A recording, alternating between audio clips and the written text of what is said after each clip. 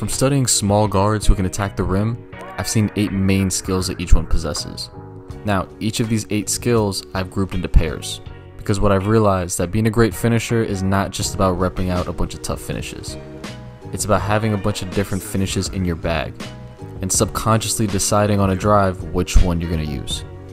The point of this video is to understand what these decisions will be and how to train for them, so you're prepared for anything in the game.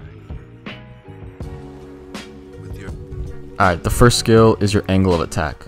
Now wherever you catch the ball, you can really drive to the middle or to the side.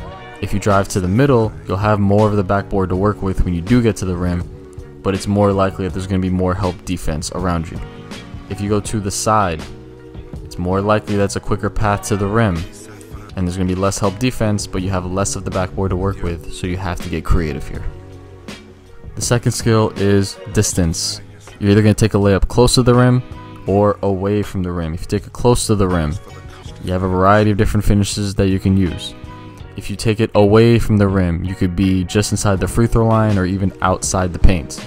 There's a whole nother variety of skills that you're going to need here. The next skill is which hand you are going to finish with when you get to the rim. You can use your inside hand or your outside hand.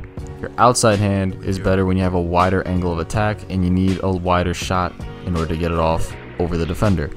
Your inside hand is better when it's a quick drive and you just want to get the ball up to the backboard or to the rim as quickly as possible. This can also throw off the timing of the defense, so it's really effective when used properly. This next skill seems like a simple one, but it's one we all need to work on in our workouts when we're attacking the basket.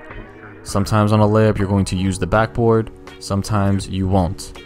Both of these situations require different types of touch, and you need to have both in your bag. Now, this next skill is for when we're specifically finishing off the backboard. There's really two ways we could do this.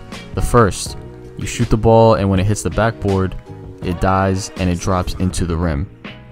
Alright, this is very useful when we're driving straight to the basket and we just want to shoot the ball high off the glass around the middle of the backboard. Now the other way is when we're driving sideways or we're just getting close to the rim in general and we want to shoot the ball and spin it off the corners of the backboard. I would argue the first type of finish is harder and there's definitely more angles that you can use this from, but you definitely need to have both of these if you want to be an elite finisher. The next skill is a really underrated part of being an elite finisher, but it's very necessary. And it's when we initiate contact. Sometimes you're going to drive downhill to the basket and you're going to initiate contact while you're still on the ground. This is going to throw the defender off their path, and then once they're off balance, then you jump up to the rim. The alternative is you drive by your man, the help defense comes over under the basket, you jump off of two feet and make contact with them in the air. Now when you do this, you make contact in the air and you have to stay in the air for a couple seconds in order to get the shot off.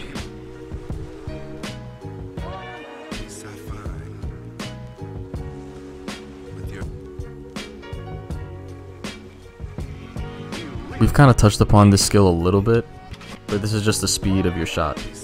Sometimes you're going to drive to the basket and you just want to get the ball off as quick as possible off the backboard or to the rim this is a very stealthy, speedy kind of finish. The other one is if you just go up strong. So you know the defender's around you, you're going to take the contact, or you're going to initiate the contact on the ground, you're going to spin the ball off the backboard, do what you have to do. This is a stronger type of finish. This is kind of the speed versus slow debate, but you definitely need to have both of these in your game. Last skill in order to be an elite finisher is which foot you're going to jump off of. Sometimes you're going to jump off of one foot, sometimes you're going to jump off of two feet. Now, both of these have their pros and cons. There's plenty of people that have already talked about this in the past, but you have to know when to use each one, and you have to be able to use them both effectively. When you jump off of one foot, it's usually when you're driving really quickly to the basket, and you don't want to lose momentum, and you get a good amount of hang time from it. But when you want to jump off of two feet, it's when you're usually going at a slower pace to the basket. You can jump stop, you can step through out of this, you can jump off of two and change direction after you jump. This is also very effective, but you definitely need to have both of these.